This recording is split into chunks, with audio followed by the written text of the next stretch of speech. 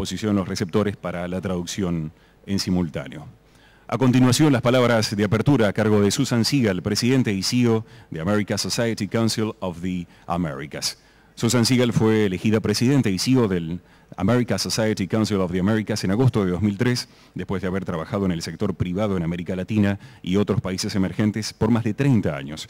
Antes de su nombramiento, la señora Siegel fue socia del grupo latinoamericano de Chase Capital Partners, JP Morgan Partners, donde hizo inversiones en varios sectores y países, y también fue pionera de inversiones de Early Stage Venture Capital en América Latina.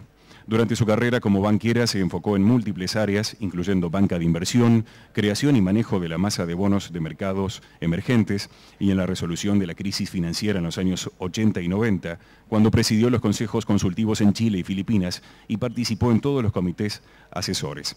La señora Sigal es miembro de la Junta Directiva del Tinker Foundation, del Consejo Consultivo Internacional de Endeavor, miembro del Council on Foreign Relations y miembro del directorio del Scotiabank. Entre sus condecoraciones están la Orden de Bernardo Higgins de Chile y la Orden de San Carlos de Colombia. Con ustedes entonces, Susan Sigal.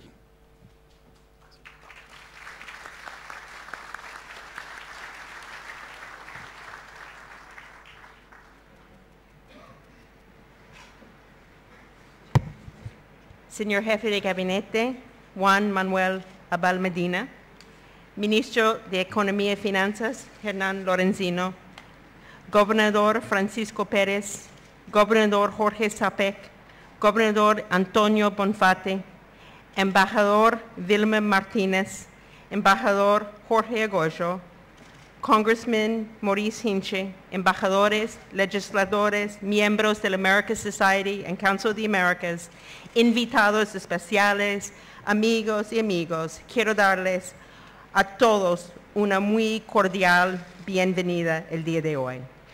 Quiero agradecer muy especialmente a la Cámara, Argentina de Comercio y su, su presidente y mi amigo Carlos de la Vega por acompañarnos este nueve años en Argentina.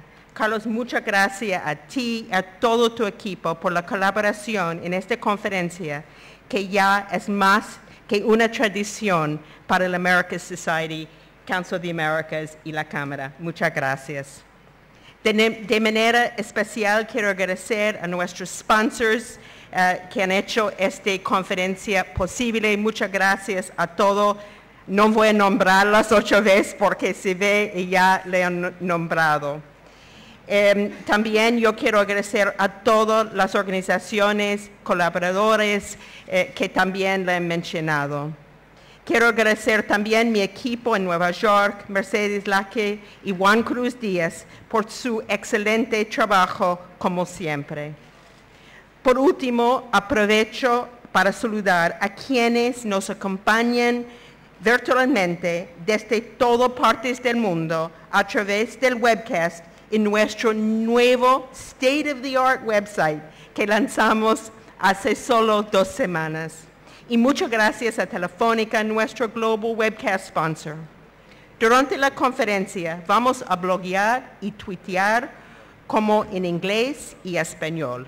Y los invito a tuitear con nosotros con el hashtag PoundArge2012 y yo también voy a tuitear. Este año quiero hablar un poco sobre nuestras organizaciones, el Council of the Americas and the Americas Society, y la dimensión de nuestros programas. Esta conferencia en Argentina hace parte de una visión, una actividad mucho más grande. Como parte de nuestra serie de conferencias llamadas Ciudades de América Latina, tratamos de hacer actividades en entre 7 y 10 ciudades por lo menos una vez al año. La semana pasada estuvimos en Brasil y la semana que viene vamos a estar en Santiago. Una innovación en los últimos años ha sido nuestros programas en nuevas, en nuevas ciudades y provincias, que hasta ahora ha sido solamente en Brasil y Argentina, pero en el futuro lo haremos en otros países.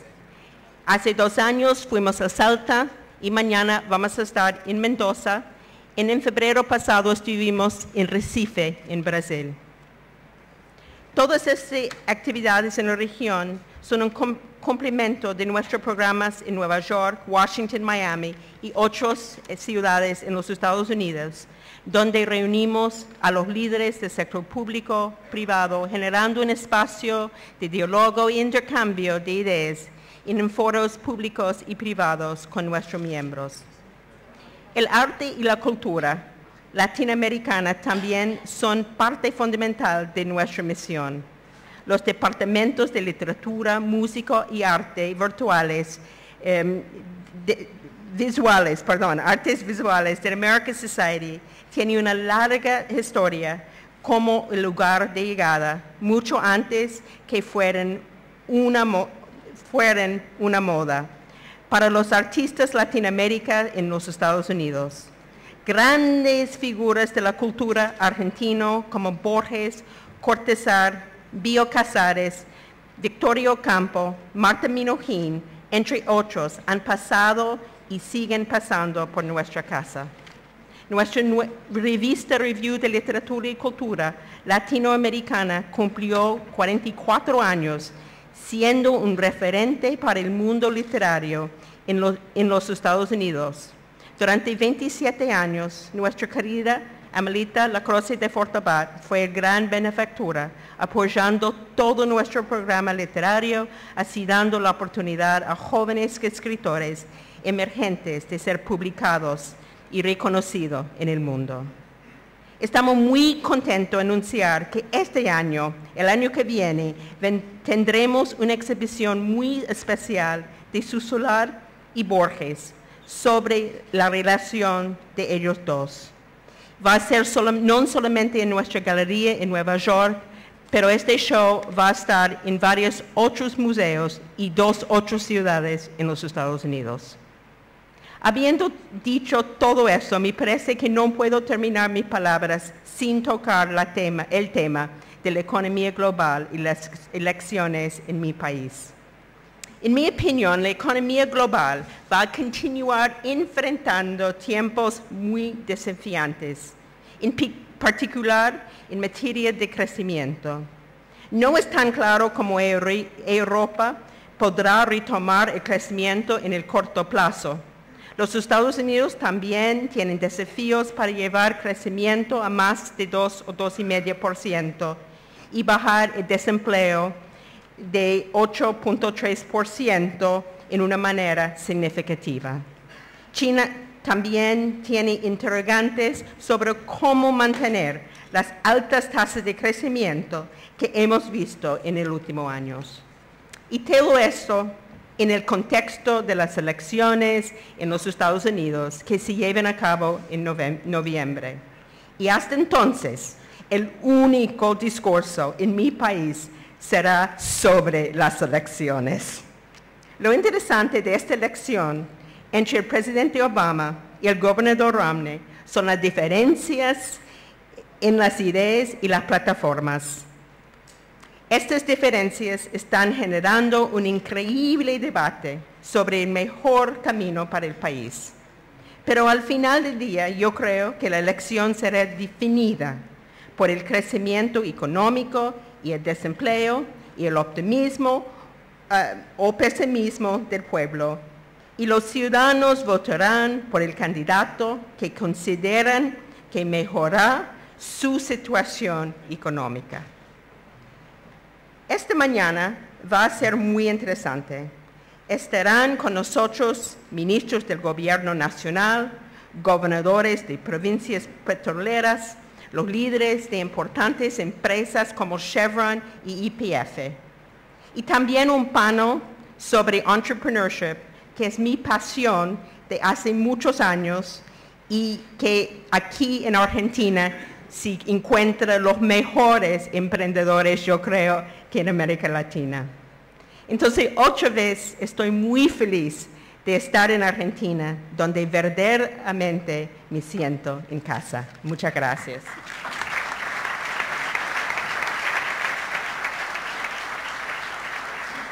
Gracias, Susan. A continuación hablará Carlos de la Vega, presidente de la Cámara Argentina de Comercio. El señor de la Vega es presidente de la Cámara Argentina de Comercio desde el año 2003, habiendo ejercido también este cargo en el periodo 1988-1993. Se desempeñó en el campo privado como miembro del directorio de importantes empresas, entre las que se encuentran Siva Heiji Argentina, luego Novartis, La Caja ART, Lanchon Tickets e IPF Sociedad Anónima. El señor de la Vega fue también presidente de la Asociación Iberoamericana de Cámaras de Comercio, AICO, y del Congreso Hemisférico de Cámaras de Comercio. También fue miembro fundador del Consejo de Cámaras de Comercio del Mercosur. Con ustedes, el señor Carlos de la Vega. Señora Presidenta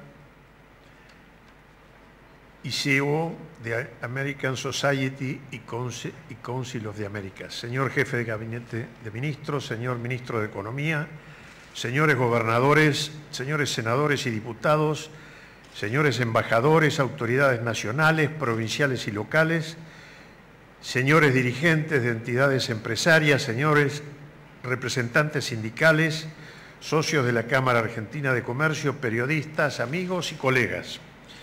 Señoras y señores, en nombre de la Cámara Argentina de Comercio, les doy la más cordial bienvenida. Esta jornada contará con la participación de muy destacados representantes de la política y la economía, quienes ofrecerán sus perspectivas sobre el futuro del país. A todos les agradezco su participación. El año pasado, al, abrir este evento, mencionaba que el mundo vivía un contexto económico de incertidumbre. Un año después podemos reconfirmar que no ha cambiado, sino que se ha deteriorado. Hoy soplan vientos de frente. Es importante destacar la desaceleración del crecimiento de China, el estancamiento de Brasil, la recesión del euro en la zona del euro y las dificultades de Estados Unidos para lograr su recuperación. Si bien la presente crisis no tiene la magnitud de, la que experimentamos en 2009, no deja de generar preocupación, sobre todo por su impacto. Según proyecciones del Fondo Monetario Internacional, el comercio mundial de bienes y servicios, que había crecido en 2010 y 2011 un 12.8 y 5.9 respectivamente, este año solo avanzará un 3.8%. La situación no es fácil.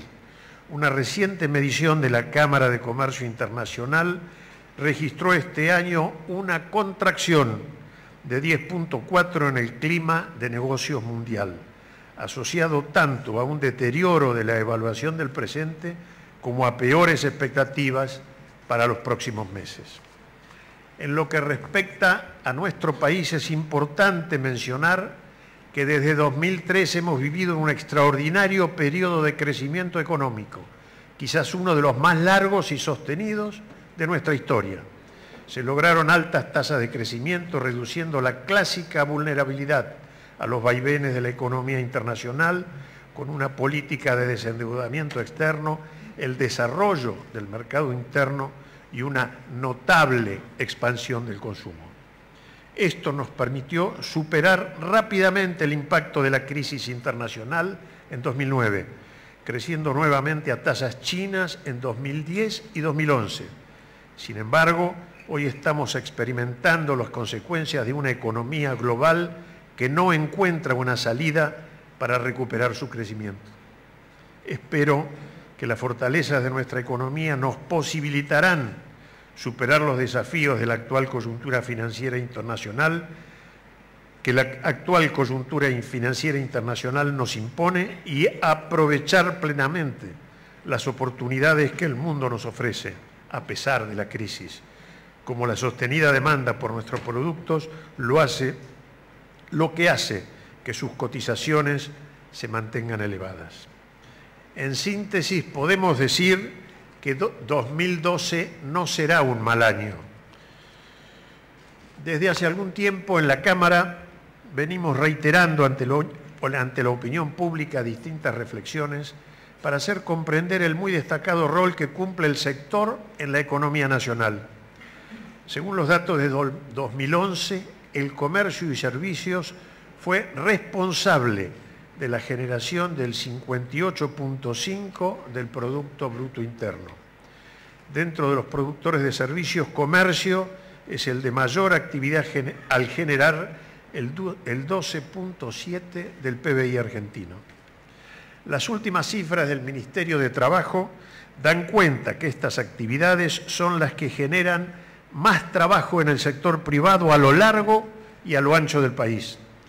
El sector emplea 4.038.000 trabajadores que representan el 64% del total del empleo formal privado. Comparando con el año anterior, se observa que fueron creados 177.000 nuevos puestos de trabajo. Comercio y Servicios es el mayor empleador privado en las 24 jurisdicciones. En Córdoba comprende al 65% de los puestos, en Chaco al 64%, en Neuquén al 61% y en la capital federal al 78.5%. Solo el comercio registró en 2011 1.116.000 empleados en blanco, que equivalen al 18% del total del país.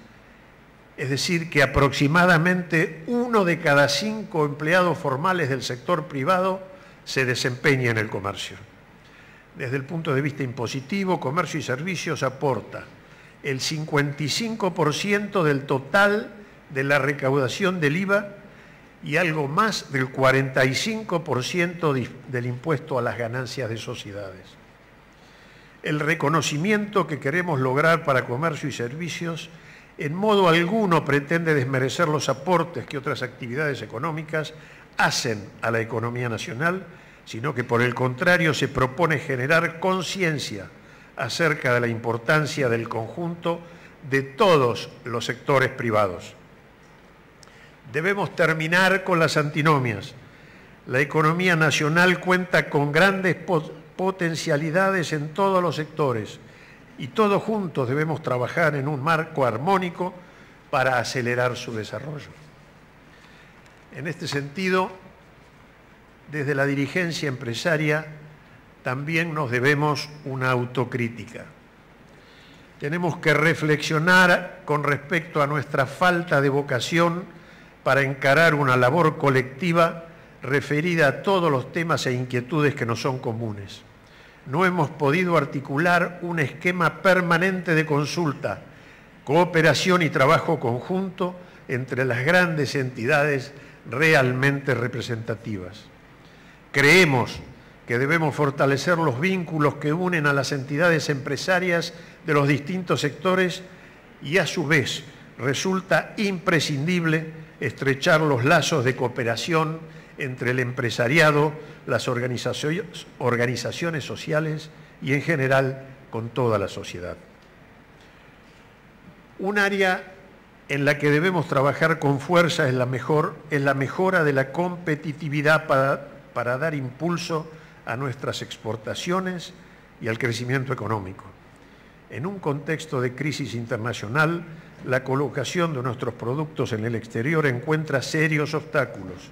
Es por ello que debemos redoblar los esfuerzos para incrementar el nivel de competitividad de Argentina, que no depende exclusivamente del tipo de cambio. Muchos otros factores tienen una incidencia igual que el cambiario.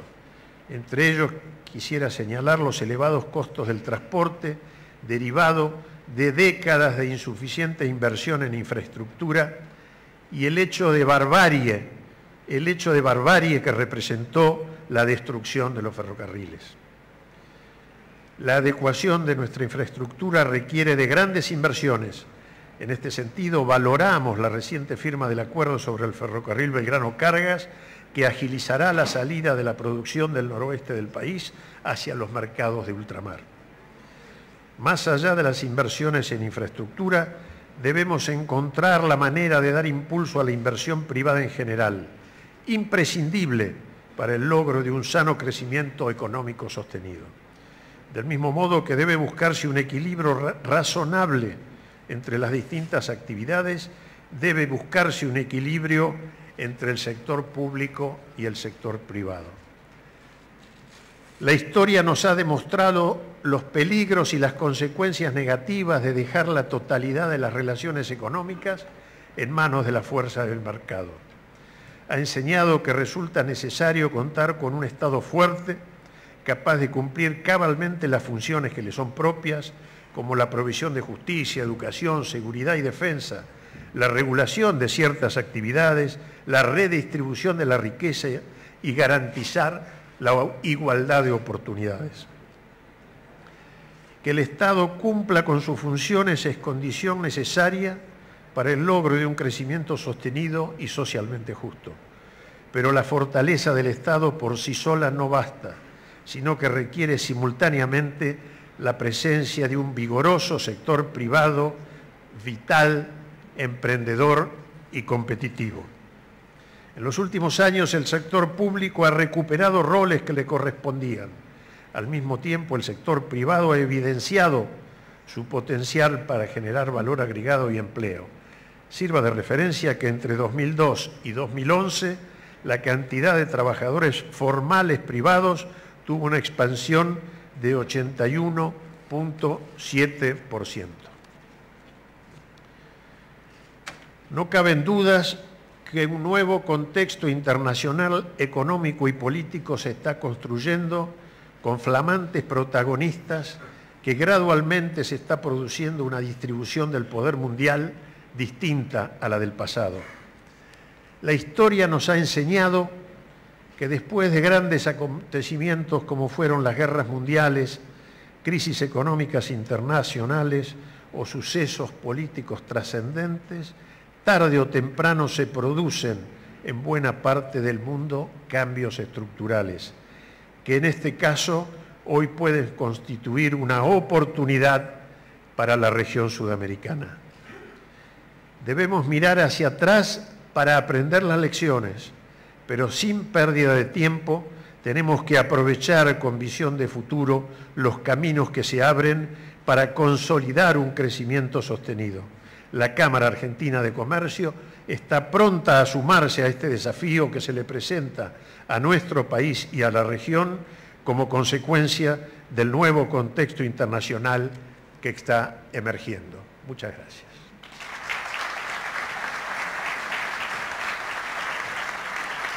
Gracias, Carlos. Y a continuación hablará el señor Hernán Lorenzino, ministro de Economía y Finanzas Públicas de la Nación.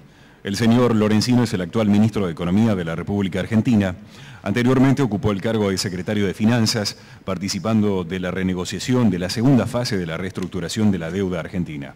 Además, el ministro Lorenzino fue representante financiero para Argentina en Estados Unidos, en Washington, D.C., y fue nombrado director provincial de políticas de financiamiento y crédito público para la provincia de Buenos Aires en 2004. Estudió Derecho en la Universidad Nacional de La Plata, donde también obtuvo una maestría en Finanzas Públicas y asimismo tiene una maestría en Economía de la Universidad Torcuato Di Tella. Con ustedes entonces el ministro de Economía y Finanzas Públicas de la Nación, el señor Hernán Lorenzino. Gracias. Buenos días a todas y a todos. Señora Susan Sigal, eh, de La Vega, señor jefe de gabinete, Gracias por la invitación, señores gobernadores, un placer tenerlos acá y, hablar con ustedes, como siempre. Señores embajadores, embajadora Arguello, eh, señora embajadora Martínez. Eh, insisto, agradecido de, la invitación, creo que la gran mayoría de ustedes, como nosotros, valoramos este tipo de encuentros porque nos da la oportunidad de interactuar, de vernos las caras, de hablarnos directamente.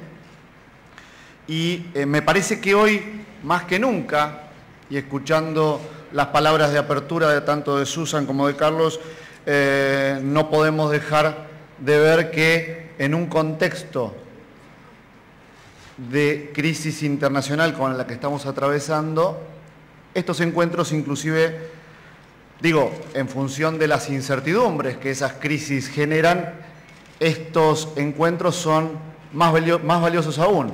Y yo, y en lo personal, me, es una oportunidad para hablarles eh, directamente, y cuando digo directamente, eh, y hablo de incertidumbre, quiero, resalto la idea de que estas oportunidades me permiten, nos permiten a nosotros llegar a ustedes, hombres de negocios, hacedores de, política económica en el ámbito privado, directamente y sin la intermediación de opinólogos de la economía que diariamente les hacen llegar informes sobre crisis que indefectiblemente se van a dar en nuestro país, que luego no se producen y entonces a ustedes se les genera la necesidad de tener un informe sobre por qué no se produjo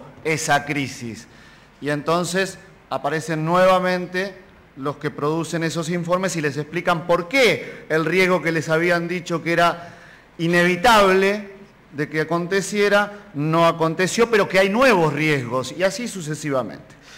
No voy a recordarles acá pronósticos que se han dado en el pasado y que no se han cumplido. La presidenta eh, lo hizo extensamente cuando anunciamos el pago del Bodén 12 en la bolsa. Pero sí me interesa remarcar al, menos dos aspectos de esta cuestión que escuchaba recientemente y que creo son eh, relevantes para entender o por lo menos dar mi opinión respecto de, esta cuestión.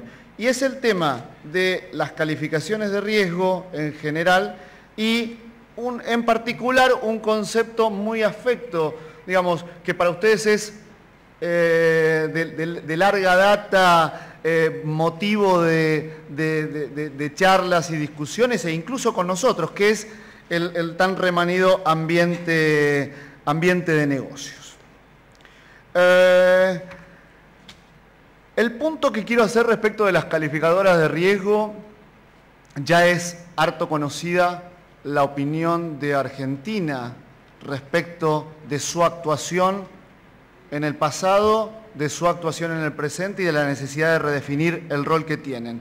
Pero en particular, y haciendo consideraciones respecto de Argentina, me interesa señalar un aspecto que es la cada vez mayor preponderancia de factores subjetivos en, calificaciones y en análisis, no solamente calificaciones de riesgo, sino análisis, por sobre los eh, factores eh, objetivos o en oposición a los datos concretos de la realidad económica que tendrían que ser motivo, en mi opinión, del de, eh, objeto del análisis o de la calificación. ¿Y por qué señalo esta cuestión? Porque yo creo que estas calificaciones basadas cada vez más en factores subjetivos y no objetivos, hace que eh, ustedes no puedan tomar, o al menos les dificulten, la toma de decisiones eh, respecto de oportunidades de negocios en países como la Argentina, que ofrece y ha ofrecido, aún, aún pese a, estos, a estas calificaciones e informes, en múltiples sectores de la economía real, márgenes de rentabilidad en los últimos 10 años inéditos para nuestra historia económica reciente. Sé que ustedes, muchos de ustedes, porque hay muchos de los que están acá a quienes conozco, no les han hecho caso, porque también sé, porque los conozco, que han participado activamente de estos últimos 10 años de crecimiento de la economía argentina. Ahora, el hecho es que esos análisis, esos informes existen. Y mi punto es que no es casualidad que existan. Si hay algo que la crisis internacional nos ha dejado, me parece muy interesante acá, hago una digresión, el punto que hacía Susan respecto de la, eh, campaña en Estados Unidos y dónde, y dónde eh, y cuál era el, iba a terminar siendo el foco de atención y qué iba a terminar decidiendo eh, para un lado o para otro esa elección y ella ponía el punto en la cuestión del crecimiento y en cómo la opinión pública creyera que un candidato reflejaba más eh, el mantenimiento o el crecimiento del país respecto de otro. Creo que ese, es un punto no menor y voy a ir eh, en un momento a esta, a esta cuestión en cómo eso tiene que ver con eh, las distintas opiniones que deslizan las calificadoras de riesgo en un caso o analistas en, el otro. ¿no? Si hay algo que decía que no, que no hay dudas es que la crisis nos dejó la necesidad de revisar todos los paradigmas. De hecho, lo que eran paradigmas en el pasado antes de Lehman Brothers, hoy ya, ya hoy no lo son. Eh, la otra cuestión absolutamente clara y donde no hay ninguna objeción es que las calificadoras de riesgo han recibido la mayor parte de las críticas, no solo de los que ya la veníamos eh, sosteniendo, sino también de los países eh, desarrollados, en particular los países de Europa y de Estados Unidos. Como le decía, nosotros ya lo habíamos alertado y la presidenta lo había eh, dicho y lo sigue diciendo en cada uno de los foros internacionales económicos donde, Argentina participa, pero parece que fue necesario que las principales economías del mundo sufran en carne propia las calificadoras para que el foco de atención se ponga sobre ellas y se vea la necesidad de repensar eh, su papel. Eh, ahora bien, ¿qué hacen en definitiva las calificadoras de riesgo? ¿Qué deberían hacer? opinar sobre la capacidad de repago de una deuda. ¿El punto cuál es? Que esa opinión no es neutral, sino que influye en el valor de esa deuda. Y ahí es donde entran, eh, entran los problemas. Los errores de pronóstico no son afrontados por los mismos que dan la opinión. Sin embargo, los afectados por esos errores de diagnóstico en el caso de los emisores de deuda o los destinos de inversión que se ven a partir de una calificación, sufren de esos errores que no generan. Califican la deuda, pero como no aseguran el valor de lo que califican, se limitan tan solo a opinar, por lo cual el error en los pronósticos no lo pagan ellos, sino los que creen en sus análisis los inversores financieros, pero esos no me preocupan tanto, me preocupan que ustedes crean en sus análisis, porque si ustedes creen en sus análisis, son inversiones que no se producen y perdemos todos. Perdemos nosotros y pierden ustedes. Yo insisto, sé que muchos de ustedes, la mayoría, no han creído en estos últimos años, pero eso no deja de eso no deja de eh, hacer necesario una vez más levantar la voz respecto de este mecanismo perverso a partir del cual muchos de los países que no siguen el libreto se ven perjudicados. Y aquellos que siguieron el libreto y por eso cometieron errores de política económica groseros que terminaron en consecuencias sociales que hoy estamos viendo, también sufrieron las consecuencias de estos errores de las, en este caso de las calificadoras. Déjenme mencionar un ejemplo y nuestra realidad. Grecia 2009, Investment Grade, antes de, de la crisis del subprime desde el 2009 hasta acá, caída sistemática de la calificación de riesgo de Grecia, obvio. O sea, crear la burbuja e intensificar los efectos de la crisis.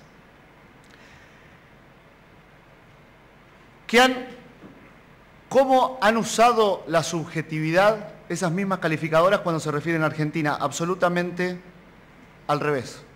Desde hace cinco años nos califican como un país en crisis y con altos riesgos de no pago.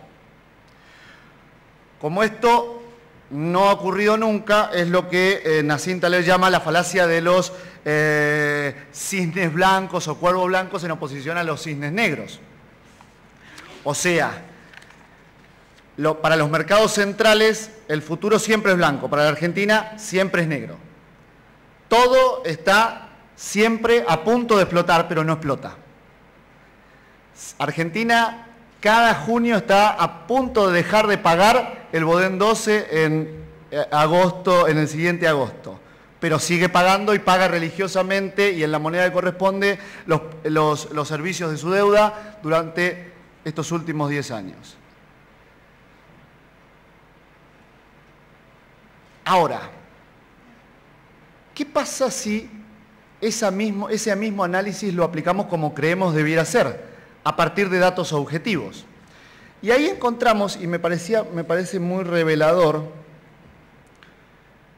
porque en definitiva mi mensaje va a terminar siendo eso, decirles que mirando cualquiera de lo que los analistas denominan fundamentals que Argentina presentaba en el 2001 y comparándolos con el 2012, surge claramente lo que ustedes ya saben, lo que ustedes no hace falta que se los diga. Los del 2001 eran mucho peores que los del 2012.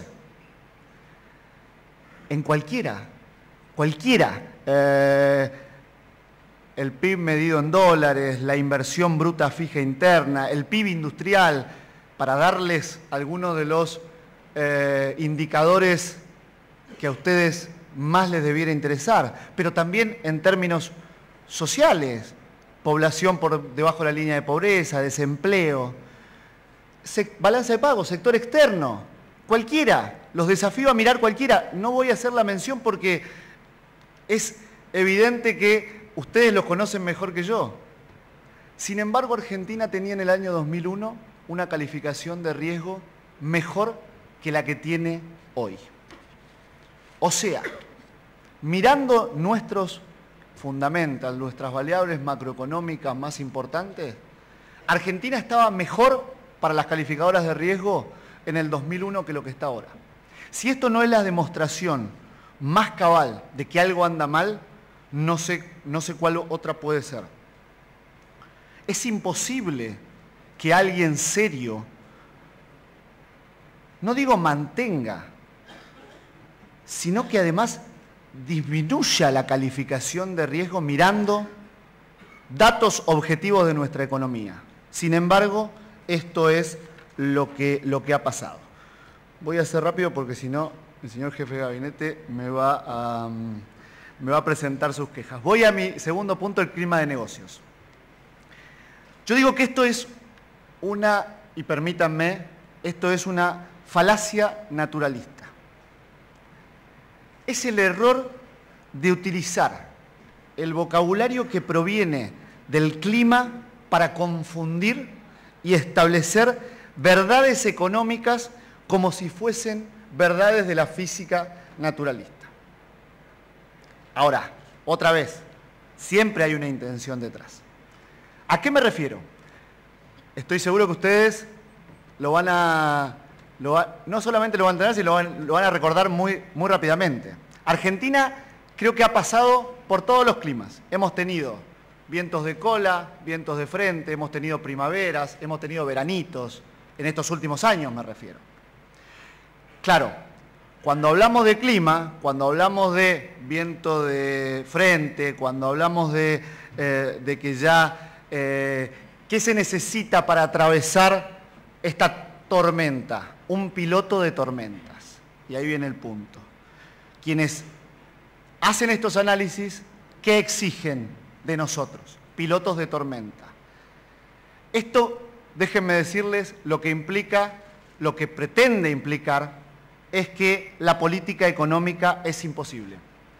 Que los gobiernos no pueden tomar determinaciones basados en criterios que privilegien otros objetivos, como puede ser eh, el empleo, la distribución del ingreso. El objetivo tiene que ser mantener un clima estable. Por eso creo también que estos análisis se han equivocado sistemáticamente durante estos últimos 10 años. Porque en la Argentina hace 10 años que hay un gobierno que hace política económica, que no es, como dice la presidenta, señalera del mercado.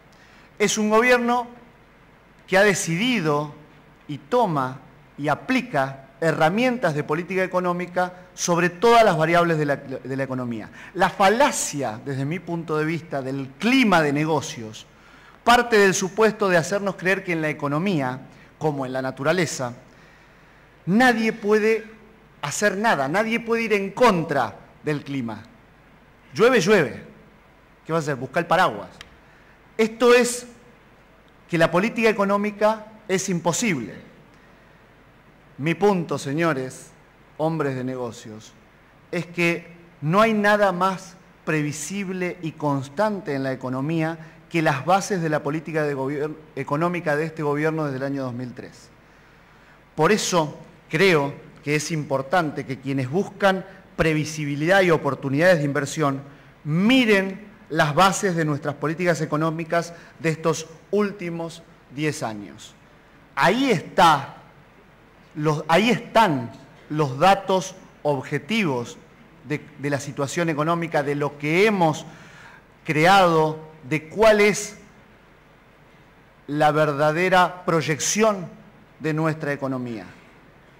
El crecimiento económico con inclusión social, la política cambiaria estable y orientada al desarrollo, un sistema financiero sano y fuerte, una política sistemática de desendeudamiento.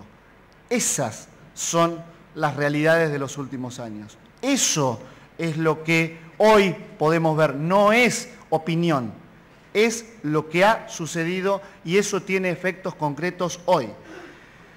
El crecimiento, como decía Susan, y coincido casi eh, palabra por palabra, es lo primero que cualquier persona, desde grandes empresarios como ustedes, desde el más pequeño de los emprendedores que mencionaba Susan, mira, y estoy convencido de eso, analiza, ve cuando está por realizar una inversión. Nadie quiere apostar a una economía que no crece. Desde el gobierno estamos dispuestos y lo hacemos a utilizar todas las herramientas a nuestro alcance para sostener la demanda agregada. Pero desde nuestro punto de vista, y por eso hablo de inclusión social, hay que ir un paso más allá. Un crecimiento que sea una transferencia, que implique una transferencia regresiva, por ejemplo, desde el sector productivo al sector financiero, en detrimento de estos mismos sectores productivos, tampoco creemos soluciona el problema. Si queremos ser coherentes en la importancia que le damos al crecimiento, estamos, creemos, obligados, todos, nosotros y ustedes, a darle más preponderancia aún a la distribución del ingreso. Un alto crecimiento acompañado de una distribución regresiva del ingreso, estamos convencidos, genera un, bajo crecimiento a futuro porque entendemos, creemos que los sectores de mayores ingresos, los que más ganan, son a su vez los que menos consumen. Para apostar al crecimiento sostenible, tenemos que apostar ineludiblemente a la inclusión social. Por último, hago una referencia dentro de estos pilares al desendeudamiento. La, dejo, la dejé en la mención en última instancia porque creo que es la que garantiza a las anteriores y creo que la lección que nos está dando la crisis eh, de Europa en particular, pero, pero de los Estados Unidos también lo fue de la misma manera, eh, hoy más que nunca nos hace ver la importancia estratégica que ha tenido esta cuestión en, eh, nuestro país del 2003 a esta, al día de hoy. Creemos que una política económica que evita el endeudamiento estimula necesariamente la producción, la generación de empleo y mejora la distribución del ingreso. Una política económica que no está basada en el endeudamiento externo, estamos convencidos, permite tener soberanía política para hacer política económica para que los objetivos fiscales del Estado, Carlos de la Vega hablaba de la importancia de un Estado fuerte, Creemos que un pilar para que haya un Estado fuerte es que haya un Estado sin deuda, que le permita utilizar los recursos fiscales que se liberan del pago de deuda para hacer políticas fiscales expansivas que a su vez mantengan el crecimiento alto y estable, eh, como lo señalé antes, con inclusión social. Esto es lo que hemos llevado adelante desde el 2003 y cada uno de los hitos del, del desendeudamiento lo conocen ustedes muy bien porque lo conoce toda nuestra sociedad, porque han sido hitos muy importantes para llegar hoy a una situación en donde la deuda del conjunto de los argentinos con el sector privado es inferior al total de las reservas que mantenemos en el Banco, en el banco Central. Una política financiera del Estado que entiende que es necesario romper el ciclo de crisis que hoy enfrenta Europa es lo que nos propusimos. La emisión de deuda estatal hasta niveles irresponsables conduce a lo que está pasando en, Europa. La necesidad de generar espacio fiscal para repagar esa deuda produce que el Estado no pueda cumplir el rol que tiene asignado y no puede cumplir el rol de intervención en la economía para mantener el crecimiento alto con inclusión social, que en definitiva es lo que a ustedes, estoy convencido, les interesa al momento de hacer sus inversiones.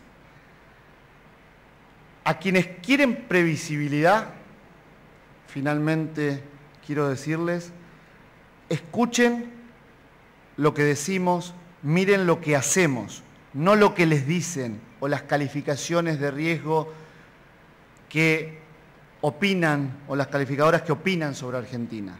Miren los resultados de esta política económica de los últimos años. ¿Que faltan cosas por hacer? Por supuesto que faltan cosas por hacer. Pero creo que hemos hecho mucho y hoy nos permite estar acá en un contexto internacional muy complejo, con perspectivas de que nuestra economía está respondiendo muy bien a ese escenario complejo y que tiene perspectivas de crecimiento optimistas para el futuro. Entonces, vamos a seguir aplicando desde este gobierno este modelo. Hoy, más que nunca, creemos en este modelo. Vamos a seguir ampliando nuestros espacios regionales. El Mercosur es una apuesta ineludible para Argentina. El Mercosur ampliado, mucho más. Creemos que esa integración económica no solamente debiera estar limitada al comercio, sino también a la complementariedad energética, a la cooperación científica y próximamente, y con el Banco del Sur, a la complementación financiera. En síntesis, una economía en crecimiento que defenderá el consumo y su mercado interno, incluyendo y permitiendo el acceso a los sectores menos favorecidos. Ese es nuestro objetivo. Un marco macroeconómico estable, con objetivos de autoabastecimiento energético, sustentabilidad de la demanda agregada y desendeudamiento que dan un horizonte propicio y coherente para seguir alentando la inversión en el país. Ese también es nuestro objetivo.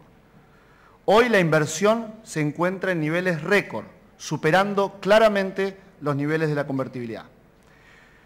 Para este gobierno, y espero que para, usted, para ustedes también, la previsibilidad de una economía en este contexto internacional se debe analizar en base a los objetivos y los resultados alcanzados en materia de crecimiento y disminución de la pobreza. Vean los resultados, vean las políticas implementadas, no lo que dicen respecto de eso los opinólogos. En este marco, las inversiones en la economía real, en la producción, en los servicios, encontrarán oportunidades inmejorables en la Argentina, oportunidades que seguramente no encontrarían, y esto ustedes lo saben bien, en una economía dedicada al ajuste estructural y a privilegiar la renta financiera. Esto es lo que hemos hecho en los últimos 10 años y no otra cosa. Y esto es lo que seguiremos haciendo. Muchas gracias. Agradecemos las palabras del señor Hernán Lorenzino, ministro de Economía y Finanzas Públicas de la Nación. A continuación hablará el señor jefe de Gabinete de Ministros de la Nación, Juan Manuel Aval Medina. El señor Aval Medina, como ya dijimos, ocupa actualmente el cargo de jefe de Gabinete de Ministros de la presidencia de Cristina Fernández de Kirchner. Fue secretario de Comunicación Pública, dependiente de la Jefatura de Ministros de la Nación y previamente se desempeñó como secretario de la Gestión Pública de la Nación. Con ustedes, Juan Manuel Aval Medina. Señora Presidenta del Council of America, señor Presidente de la Cámara Argentina de Comercio, señor Ministro de Economía, señores gobernadores, embajadores, legisladores, señores y señoras empresarios, inversionistas, señoras y señores. Quiero en primer lugar agradecer la invitación y también a Susan Sigal por el permanente esfuerzo que viene realizando ya hace nueve años en trazar puentes, trazar puentes entre nuestros dos países. Susan es claramente, y queda muy claro de sus palabras, una amiga de la Argentina.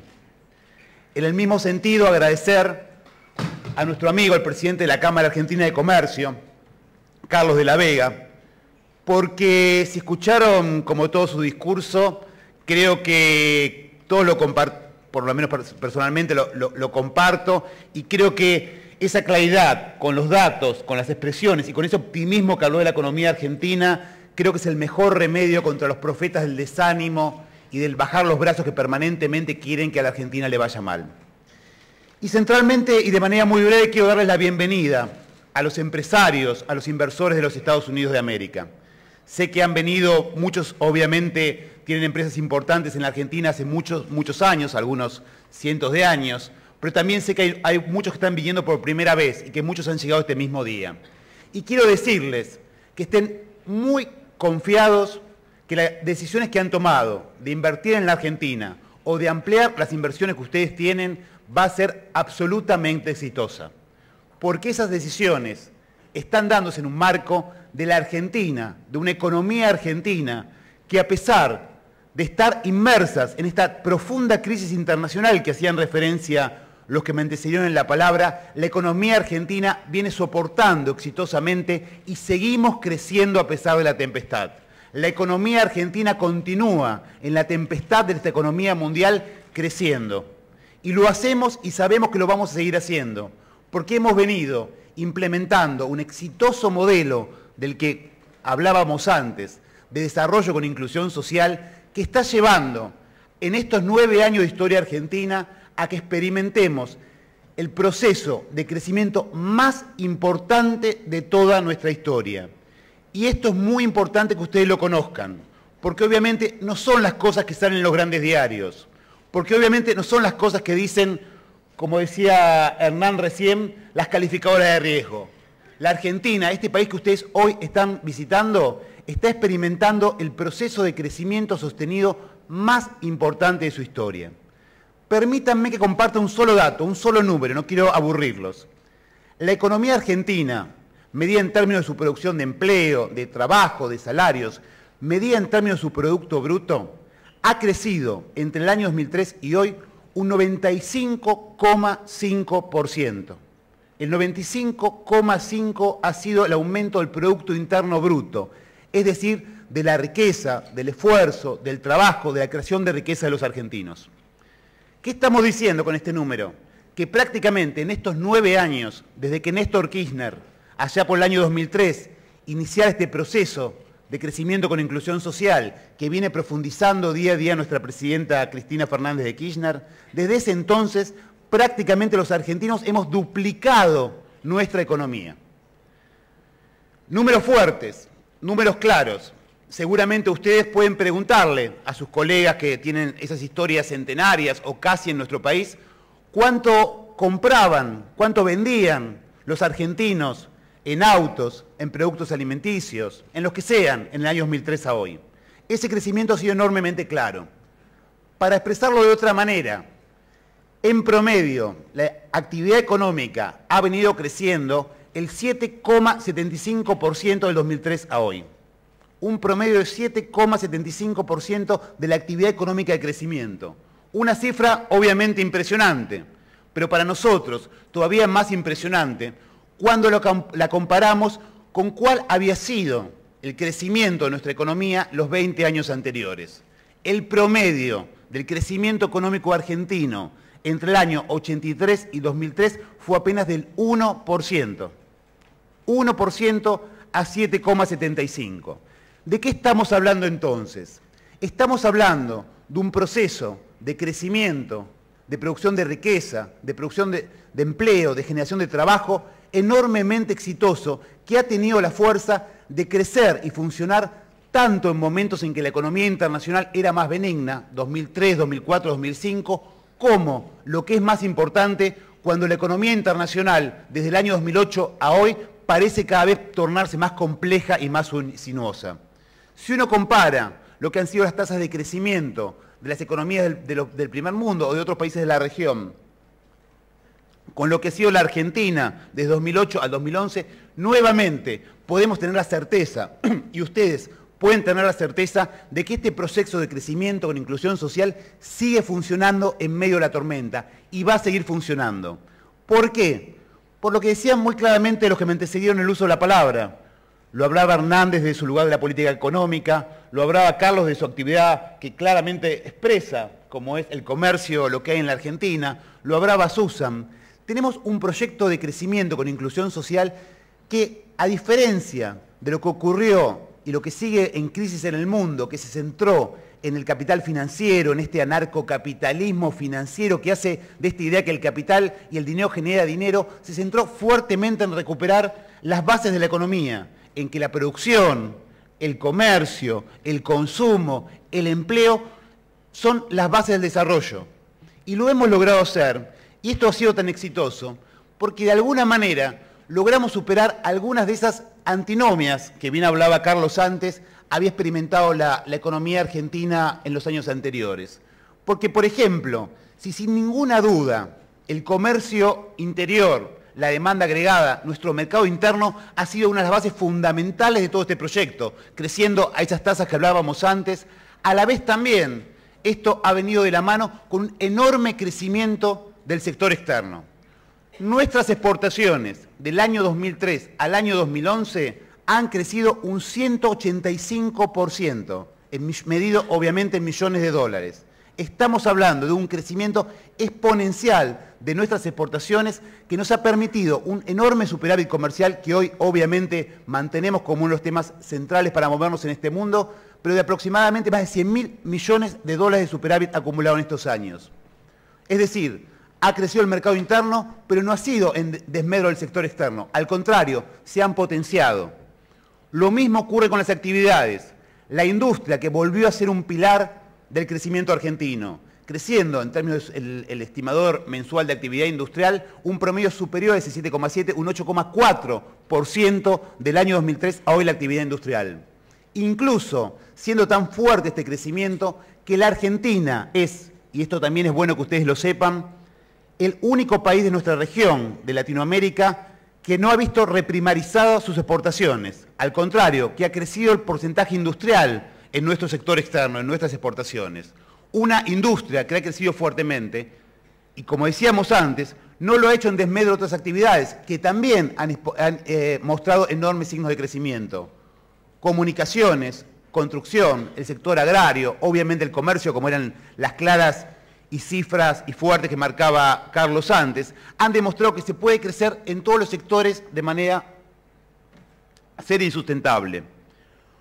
Obviamente, uno de los grandes pilares de este modelo ha sido volver a poner al trabajo, al empleo y al verdadero trabajo, el registrado, el formal, en el centro del tema. Para que lo sepan nuestros eh, visitantes, la Argentina pasó de tener cifras de desempleo superiores al 24-25% allá por el 2002-2003 a tener hoy tasas cercanas al 7%. Estamos manteniendo y estamos creando empleo en medio de la tormenta. Recién me comentaba, antes de, empezar con su, con su alocución el presidente de la Cámara de Comercio, que estamos manteniendo claramente el nivel de empleo a pesar de todo lo que está pasando en el mundo, pero también, hay que decirlo, a pesar de, lo que todos nos quieren convencer desde esos grandes medios de comunicación que está ocurriendo en la Argentina. Porque este modelo está funcionando y está funcionando con estas bases sólidas, serias, de inclusión social, de trabajo, de capital, de capital intensivo, de agregar valor, de estas claves que ustedes conocen, porque son las claves de una economía sólida, una economía en desarrollo, de las economías que han triunfado en el mundo, que por tanto tiempo los argentinos habíamos dejado de lado. Los resultados son obvios, son los que hablábamos antes. Estos números son claros y a la vez se pueden expresar en cualquier otro tipo de indicador. Si pensamos, como bien hablaba Hernán recién, en la importancia que tiene hoy en el mundo el tema del endeudamiento, del nivel de endeudamiento. La Argentina, en el año 2003, tenía una ratio deuda, Producto Bruto, del 166%. Es decir, los argentinos le debíamos al mundo más de un 166% de lo que producíamos en un año. Hoy, esa tasa es del 40%. Y si pensamos simplemente en la deuda del sector privado en divisa extranjera distinta a la que producimos nosotros, un número todavía más claro. Ha pasado del 90% al 8% después del pago que hacía referencia en MAN del BODE en 2012. ¿Qué quiero decir con esto? Que este proceso, este proyecto, tiene bases muy sólidas que ustedes van a estar absolutamente seguros que la inversión que hagan en la Argentina va a ser una inversión en un país que va a seguir creciendo, que independientemente de lo que ocurra en el mundo, obviamente soportando este mundo que bien nos dijo nuestra presidenta, se nos cayó encima, vamos a estar permanentemente activos, pero que a pesar de todo va a seguir creciendo y va a seguir resistiendo la tempestad. Y lo vamos a seguir haciendo porque tenemos claro cuál es el objetivo del gobierno. Tenemos claro que es mantener este desarrollo económico, mantener la productividad, mantener el empleo, mantener la producción, mantener el trabajo. Esas son las bases permanentes. Y a la vez, sin ninguna duda, y también quiero que ustedes lo sepan y lo conozcan, porque estamos convencidos que, como dice nuestra presidenta, este siglo que se abre es el siglo de la energía, de los alimentos y de la inteligencia, del conocimiento. Y la Argentina va a apostar fuertemente y viene apostando fuertemente en estos tres lugares. En la energía, lo saben, la importante decisión colectivamente que tomamos hoy, que seguramente hoy el presidente de IPF va a detallar más, de recuperar para los argentinos esta empresa como IPF, es de por sí clara. Ni hablar de lo que es para nosotros el tema de los alimentos y la producción y la tecnología que se va aplicando, desarrollando aún más esta área por el espacio que ocupa en el mundo. Porque también, como bien dice nuestra presidenta, nuestra clave acá es que por suerte en el mundo, cuando más personas aprenden a comer, después no quieren dejar de hacerlo y eso es muy bueno para ellos y también para nosotros. Y en tercer lugar, el conocimiento. Venimos cambiando fuertemente la historia argentina en términos de educación y tecnología. La educación y la tecnología, que habían sido una claves centrales de la Argentina en términos históricos, prácticamente los últimos 40, 50 años se habían olvidado la apuesta que ha hecho nuestra presidenta por poner a la tecnología, a la ciencia, al conocimiento en el primer lugar es notable. Y si ustedes no me creen, simplemente les, los invito a que recorran esta tarde, si no llueve, esa magnífica exposición que es Tecnópolis, donde podrán ver el desarrollo industrial, la ciencia, la tecnología, los científicos y ver cómo estamos incluyendo a más y mejores, a más generaciones en esa hermosa aventura que es la ciencia y la tecnología. La creación de un ministerio, específico, el presupuesto, porque no son solo palabras obviamente, el presupuesto público más importante de la historia para la educación y para la ciencia y la tecnología, un conjunto de programas que apuestan al desarrollo tecnológico, nos están permitiendo potenciar nuestra mano de obra, que bien lo han dicho muchos de ustedes muchas veces, es uno de nuestros principales diferenciales en el mundo, seguir potenciándola y teniendo más y mejores recursos humanos. Es decir, tenemos un Estado que está en plena actividad, un Estado sólido, inteligente, que administra los recursos públicos. Tenemos una economía que viene desarrollándose cada vez más. Tenemos un pueblo que está trabajando, creciendo, construyendo. Esa es la aventura a la cual ustedes, muchos ya están, son parte, pero muchos de ustedes se van a sumar a la Argentina. Créanle a lo que ustedes ven. Porque obviamente ustedes pueden pensar que los funcionarios, quizás ellos porque son Carlos o Susan porque son amigos dicen esto, pero ustedes todos los días, en sus reportes de noticias, en los grandes diarios, en las pantallas, ven una Argentina muy distinta. Ven una Argentina que está en plena crisis, que parece estar peor que el 2001, que es todo un gran desastre, que se cae prácticamente, es el peor país donde vivir en la tierra. Yo lo que les voy a pedir es que ni le crean a ellos ni nos crean a nosotros, que crean en ustedes mismos, que salgan, caminen por las calles, vean los centros comerciales, los negocios, las fábricas, las calles, los restaurantes, que transiten la Argentina, que vean, creo que van a ir a, la provincia de Mendoza como parte de este viaje, al resto de las provincias, que vean lo floreciente que está el interior y crean en ustedes mismos, tomen ustedes mismos la decisión y les aseguro que no se van a equivocar, porque como decíamos antes, este proyecto de crecimiento con inclusión social es enormemente exitoso, porque ha podido vincular ese enorme desarrollo económico, las ganancias que han tenido todos los que se han atrevido a invertir y que no, se han dejado con el pesimismo, con resultados muy fuertes en términos de inclusión social. Eh, para compartir con ustedes algunos números que son mucho más que números. Del 2003 a hoy hay 5 millones, más de 5 millones de argentinos que han conseguido un trabajo. Del 2003 a hoy hay casi 5 millones de argentinos y argentinas que tienen agua potable que no la tenían. Del 2003 a hoy hay más de 3 millones y medio de argentinos y argentinas que hoy tienen cloacas. De 2003 a hoy, 2 millones y medio de argentinos y argentinas que estaban por fuera de todo sistema previsional tienen hoy un haber jubilatorio teniendo la cobertura previsional más importante de América Latina. Del 2003 a hoy, 3 millones, más de 3 millones y medio de niños y niñas cobran la asignación universal. Más de 2 millones de ellos hoy ya tienen su netbook instalándose y vinculándose al mundo y un millón más lo va a tener brevemente. Números fríos, pero que no lo son. Hablan de futuro, de, niñez, de futuro, de, de potencia, de crecimiento, de alegría. Esa es la Argentina, esa es la Argentina que les pido que se sumen y la que crean en ustedes mismos. Porque tengan la certeza y esto es finalmente lo más importante, que tenemos un gobierno y una presidenta que está las 24 horas del día, los 7 días de la semana, los 365 días del año, trabajando, gestionando, preocupándose y ocupándose por solucionar cada uno de sus problemas. Tenemos una presidenta que está administrando y gestionando todos los días una presidenta a la que ustedes jamás van a escuchar echarle las culpas a otros, hacer reproches, desconocer pactos, dejar de hacer lo que le corresponde o desconocer los problemas. Al contrario, una presidenta que nos obliga a que los problemas están para resolverlos y eso es lo que vamos a ir haciendo. Muchísimas gracias, a Confía en Argentina, muchísimas gracias por la invitación y eh, sigamos, sigamos en este seminario. Muchas gracias.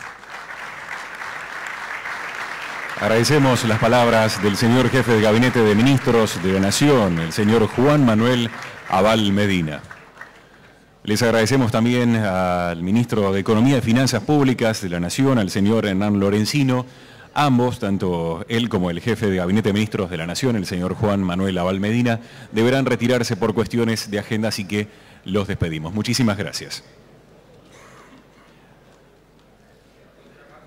Les recordamos que posteriormente, una vez finalizada la próxima charla con los gobernadores de la provincia de Mendoza y de la provincia de Neuquén, estará con nosotros la ministra de Industria de la Nación, Débora Giorgi, y para el cierre de esta conferencia, Argentina, Perspectivas Económicas y Políticas, hablará el presidente y sigo de IPF Sociedad Anónima, el señor Miguel Galucho. Les recordamos a todos